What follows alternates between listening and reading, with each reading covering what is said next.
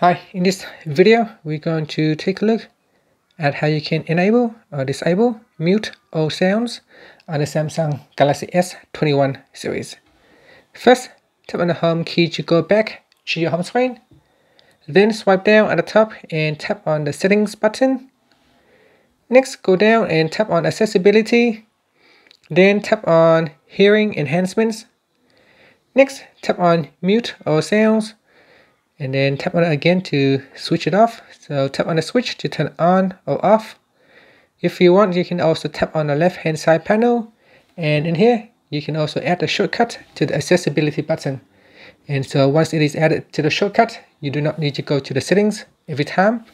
Instead, you can tap on the accessibility button and in here you can tap on mute all sounds and that will allow you to quickly mute or unmute all sounds. And that's it. Thank you for watching this video. Please subscribe to my channel for more videos.